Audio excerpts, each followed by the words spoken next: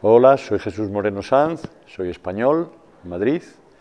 Es el tercer año que imparto un seminario en la Facultad Libre. Este año ha versado sobre, eh, el título era Corazón comprensivo y trataba de las concomitancias entre las cuatro grandes pensadoras europeas, Edith Stein, eh, Simone Weil, Hannah Arendt y María Zambrano. Me parece que este proyecto, a lo que yo voy conociendo de estos tres años de la Facultad Libre, es sumamente interesante y me parece que merece todo género de apoyos. Gracias.